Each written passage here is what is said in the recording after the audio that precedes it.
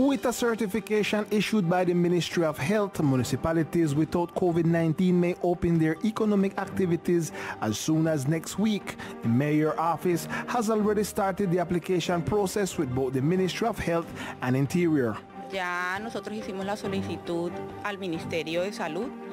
We have already requested the Ministry of Health to certify the municipality as a non-COVID municipality. Not that we say we have no cases, the ministry must certify it. After the certification, the Ministry of the Interior gives us the endorsement so that we can open up in certain sectors. It's expected that the opening take place this 11th of May in some sectors different than those of the construction industry that have already opened in other places that have presented cases of the virus.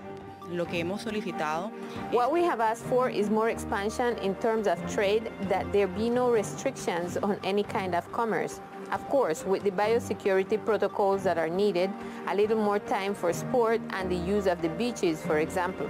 With this, it's hoped to return little by little to normal life in the municipality.